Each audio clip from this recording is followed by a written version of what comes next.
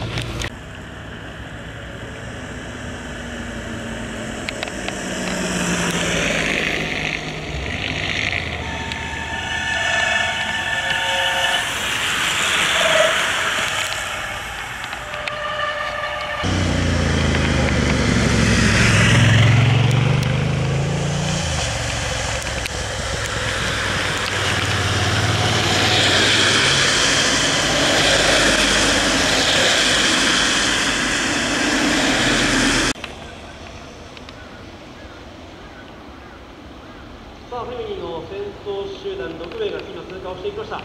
これで8周を終えて9周目です。残り3周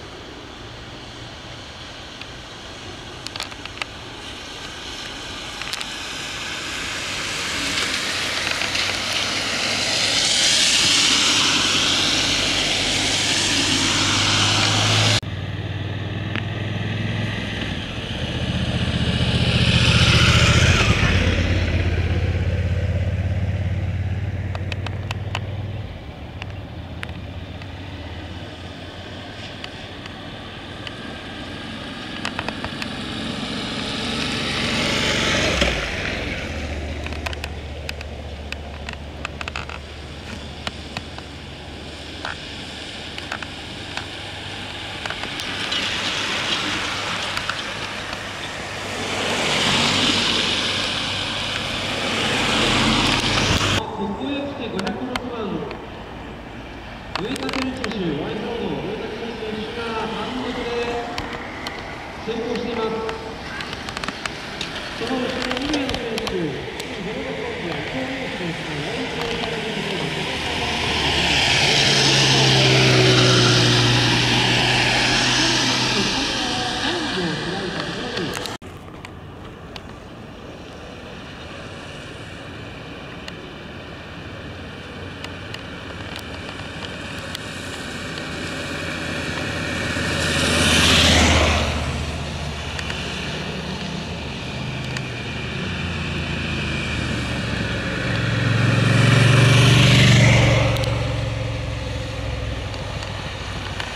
選手ついにちょっと本部の裏、ちょうど川端にしているの裏手の上りを登ってきました。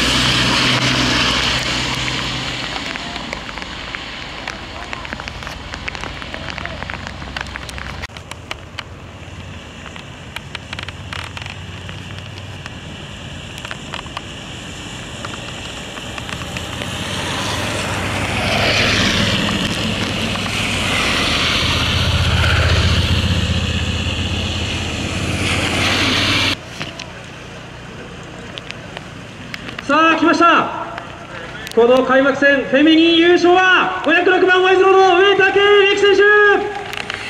そして続いて入ったのはイエローのジャージ505番の小林あかり選手のよろしくのサイクリングチーム!小林選手はちょっと苦笑いのような表情も見えましたがさあそして続いてがフェミニン3位です。チームゼロドフロンティア514番伊藤優衣選手がここでフィニッシュ。